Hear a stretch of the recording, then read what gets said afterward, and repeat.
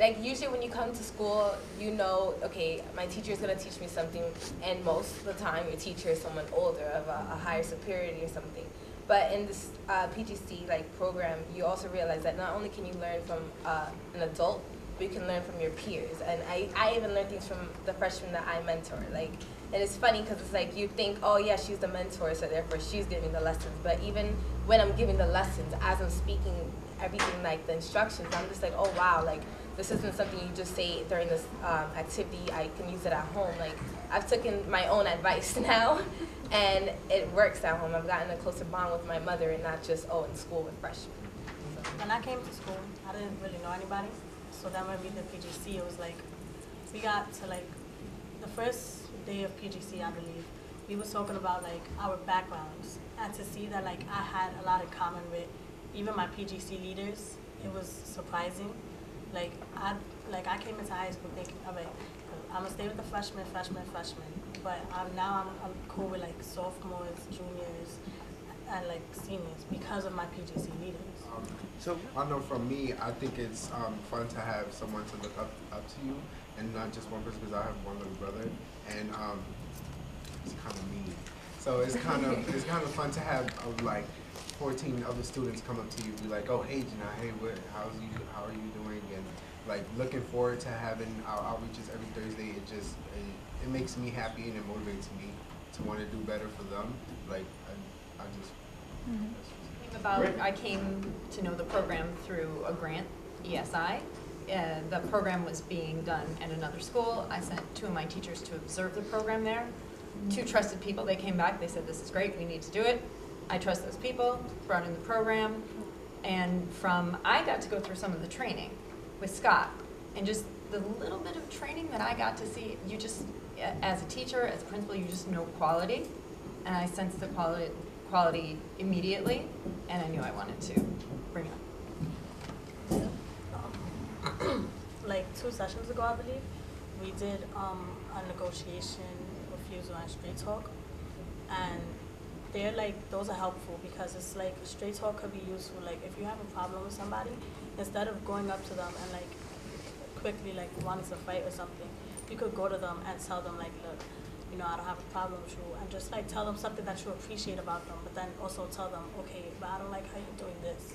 And you can say it in a nice way. So honestly, after we had that, I did use straight talk, so like it helped me, like with problems. So I think I feel like everything we learn at PGC can be used like outside of school. It's it's more informal, but the more you build leadership capacity amongst your students, the more they have the ability to prevent conflict or to see conflict um, happening amongst the student body. And in a lot of cases, it's, it's built the capacity of my staff because the juniors and the seniors, in a lot of ways, do some things that the staff used to have to do. And it's, it's pretty amazing. Well, so me and my partner, Janai, we were able to come to Ms. Ricardo and tell her that we thought that it would be appropriate if we conducted the mediation because we knew both students well and we felt like through within PGC and learning all the skills that it takes to be a leader and, all, and everything, that we thought that we could do it and we could handle it. And we actually sat there, we went through the mediation with both of them. Both of the students left feeling better about the situation, feeling better within their relationship. Like, so I feel like that really helped. Like me be, wanting to be like I want to be a counselor and everything. So when I did that mediation, I was like, wow, like you know, it's not as hard as I thought, and it's it's really helpful. So. Um, well, I mean that's honestly a case by case scenario. Like. Uh, when we're in our sessions, it is a chance for the freshmen to voice their opinions out.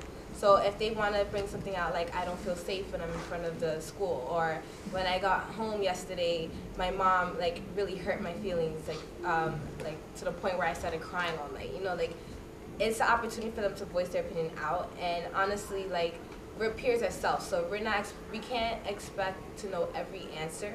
So in a situation, if we don't know an answer, we're not gonna lie and say, oh, well, maybe you should have done this. You know, we're just gonna say, like in my personal case as an example, like if there was a situation where a student was like, oh, I don't feel safe when I come in from the school, I might not know exactly how to like change that attitude about her or him, but I can say something like, oh, well, maybe we can meet up in the morning and come to school together, or well, maybe we can talk. Is there someone bothering you? Like, we, we find a way to come to terms if we don't know the exact solution for that person. And if there is no exact solution, we'll tell them to go to a higher person, like authority, maybe the teachers who have more experience can give more advice. You know, like just because you're in PGC doesn't mean you're limited to PGC. The juniors and seniors, because they're in leadership roles, have started to identify with the faculty a little more, which is really interesting. And I think through, P- it must be through PGC where they've really encouraged the students to come to us. Because this group of freshmen, they're more willing to come to me than any other group of freshmen I've had. So I'm sure in their conversations with their peer mentors, go to Miss Malloy is probably often something that they hear. So in, from my perspective, if the student was feeling unsafe in, in front of the school, I hope Kersley would do what she said. And then also, if it was a legitimate safety problem, also encourage her to come to me and talk about it.